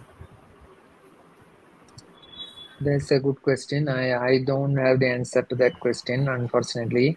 We can probably discuss this in um, maybe the TPs, technical plenaries or something. Abhishek, if you have comments. Uh, no, no, we are more on the standardization part, so probably we may not be the right people to answer this question. Uh, maybe somebody from DOT or other uh, other groups in DOT beyond TEC might be better aware of this. Sushil sir or Avinash sir, you want to pitch in there or?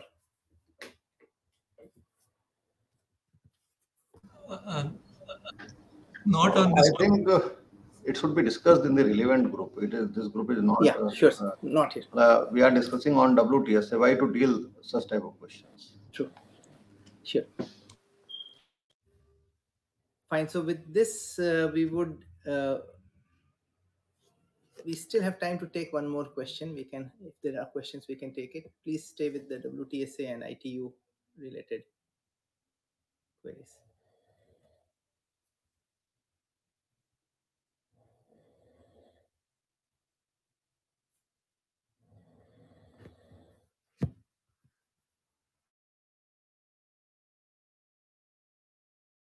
Fine. So we will move on to the item, which is uh, concluding remarks and the next step for uh, the WTSA by Avinash sir.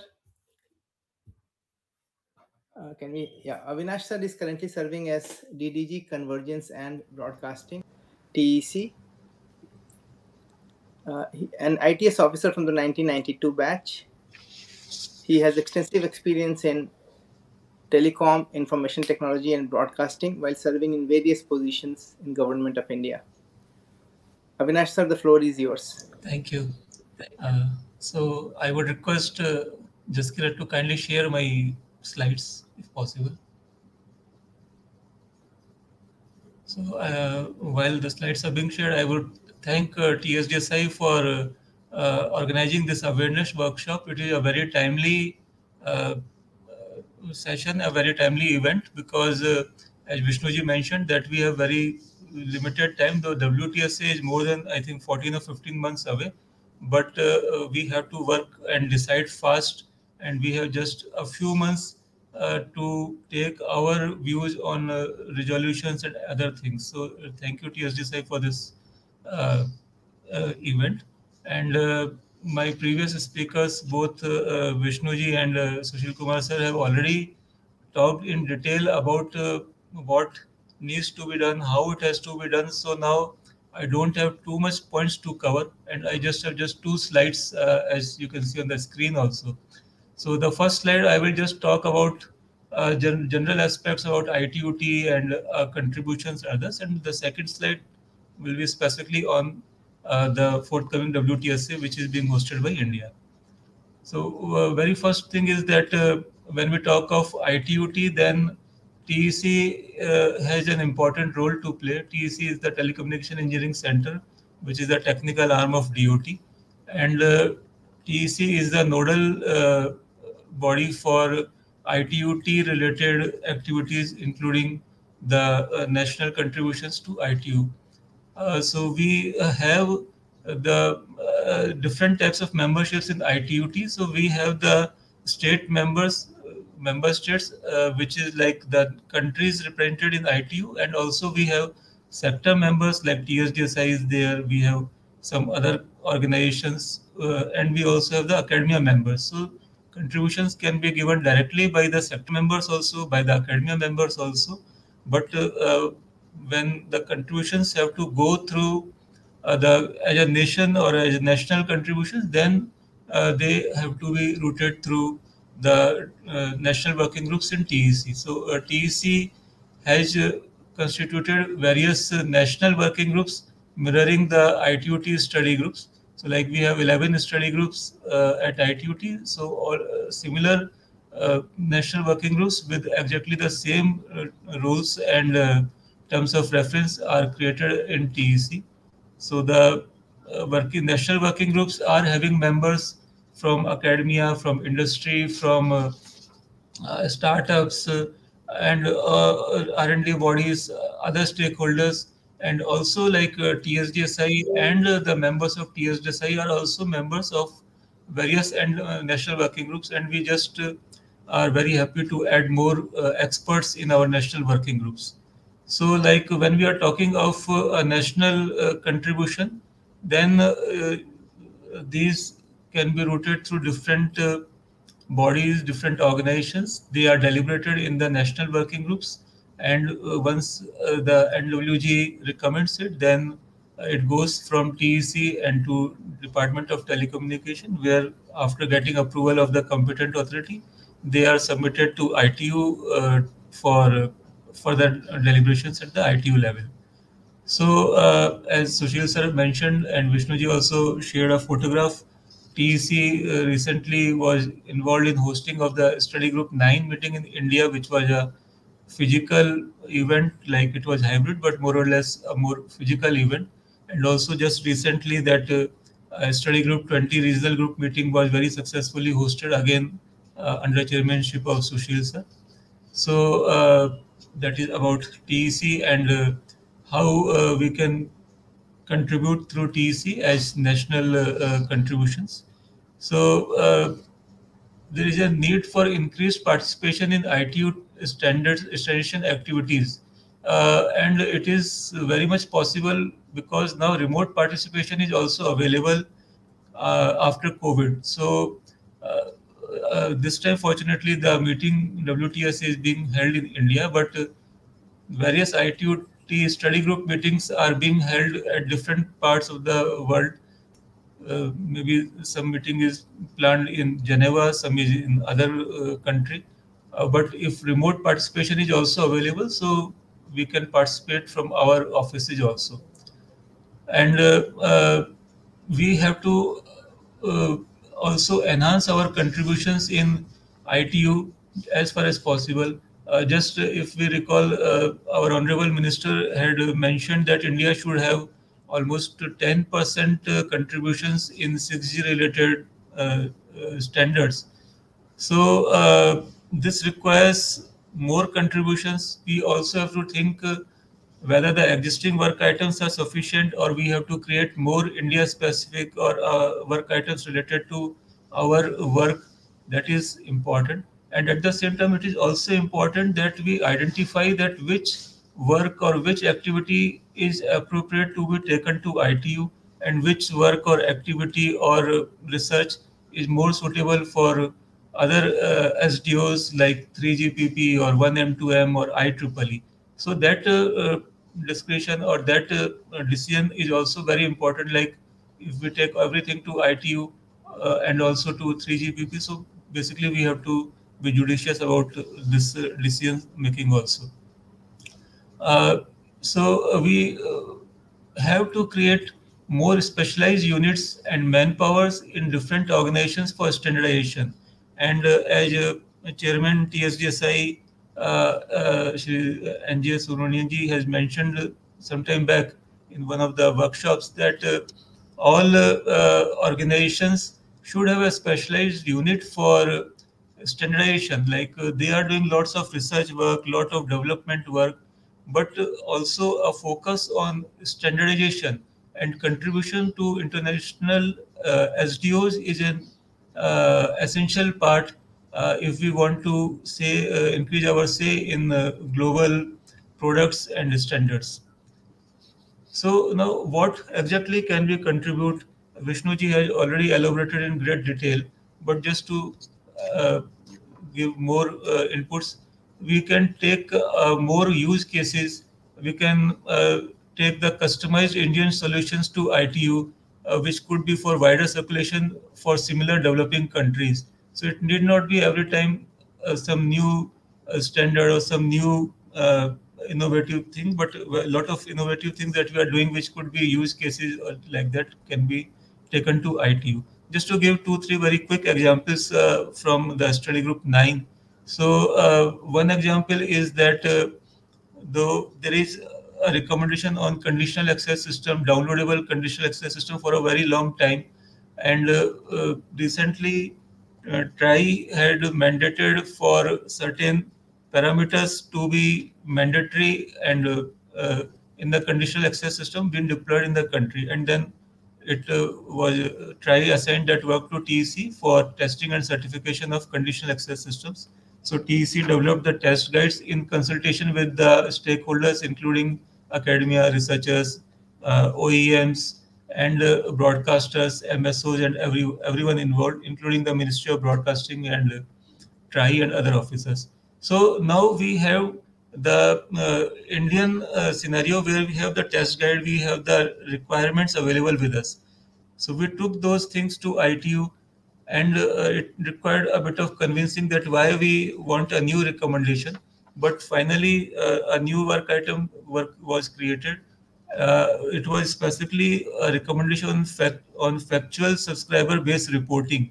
So like uh, any pilferage in the revenue because of misreporting or piracy, how those could be addressed. And more or less in two or three meetings, all uh, our contributions were accepted and now it has been it has uh, become a recommendation of ITU. And recently, TRAI mandated uh, that it should be mandatory for the uh, MSOs to have the certified CAS only. So basically, now the requirement from India has become a recommendation at ITU level also. Another quick example is like we already have one uh, ITU recommendation on hybrid setup box. So we shared that recommendation with the uh, manufacturers of hybrid set-top box in the country and asked them that is this recommendation as per your products or are your products meeting these recommendations or not? And so we got lots of inputs. Uh, there were some parameters in the uh, in the uh, recommendation which were obsolete, and there were many new features with our uh, uh, OEMs had added due to market requirements. So we initiated that work, and now that revision of uh, this uh, ITU recommendation GA298 is almost complete. Maybe in the next meeting it will become a revised recommendation. So these are just few examples how we can take our uh, solutions or use cases to ITU. Another important part is to create IPR and standard essential patents through standardization this is a very important aspect that uh, uh, unless we do uh, research and then we do the patenting part and then those patents should be pushed in the standards through various contributions and continuous uh, uh, persuasion at the standards bodies.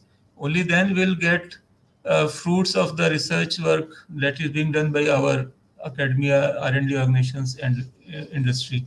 And in fact, uh, just last month, uh, workshop was held by DOT, TEC, TSDSI, we both were there and uh, it was a very successful event. Almost 1500 people attended either physically or online. Uh, so the focus was again on how to create SEPs and uh, IPRs and all those things. One more point is that all organizations should hold meetings in their organizations. It is not necessary that we have to do it only uh, through TSDSI or only through TEC uh, national working groups. They can also deliberate within their organizations about various study groups, various focus groups, and other uh, meetings, and then uh, uh, see how we can contribute. These are some of the general thoughts on how we have to, uh, how we can contribute in ITU. Next slide.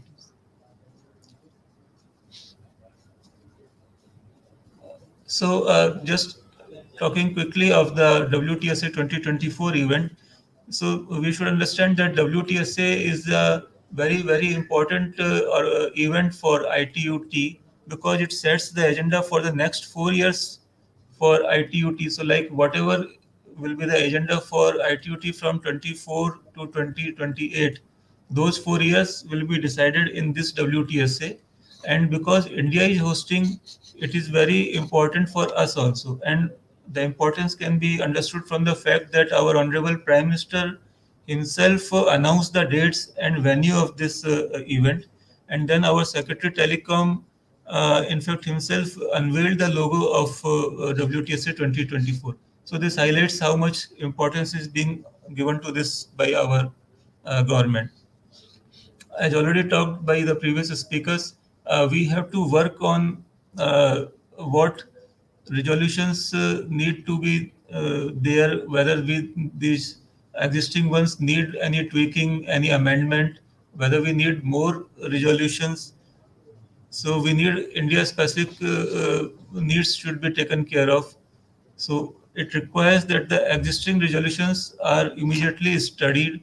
We find out whether there are any gaps, whether they require any amendments, or whether any new resolutions are required as Sushil sir mentioned, TEC is already constituting uh, groups uh, here uh, where these resolutions would be studied and then uh, basically uh, the NWGs would be the nodal for coordinating uh, because they represent all the stakeholders for that particular study group.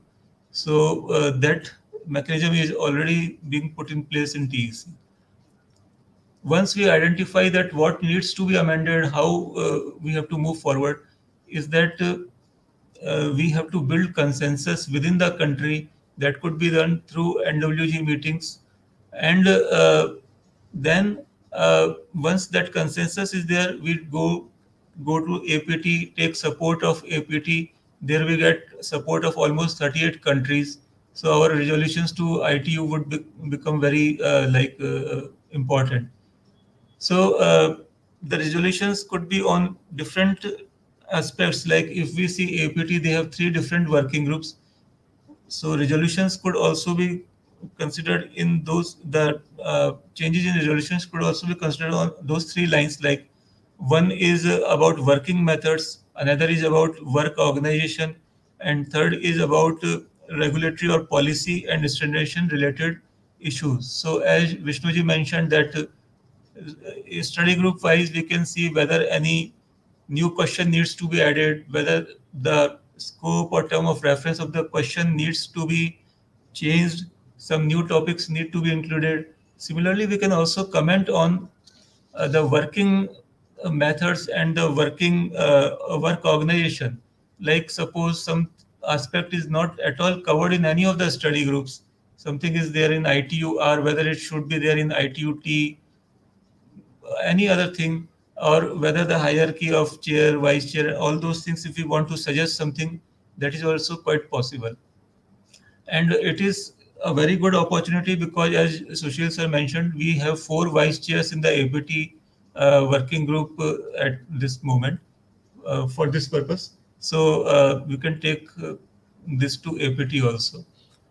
Another important aspect is that we start working on identifying the experts and persons who uh, we can project as uh, nominees from India for various chairs and vice chair positions for various study groups that would become vacant and uh, the elections would be held during this WTSA.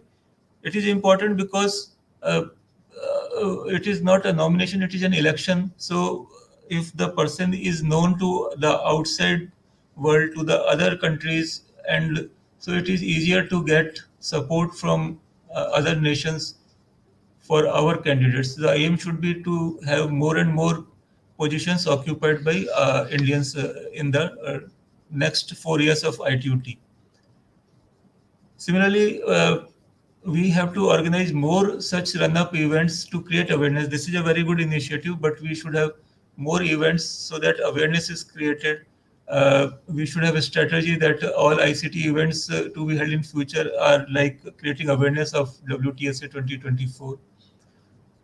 At the same time, like when WTSA is being held, we have to showcase our progress, India's progress, success stories of various flagship schemes.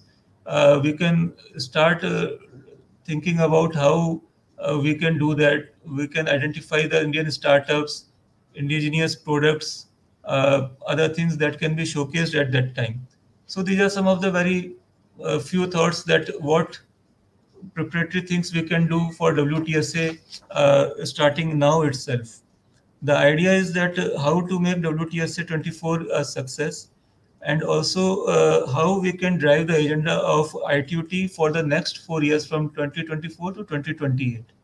And uh, the important part is that we have to work uh, uh, in a collaborative mode and not uh, in silos like we are doing some work here, someone else doing some work there. So that is it is always good that we work in a collaborative manner.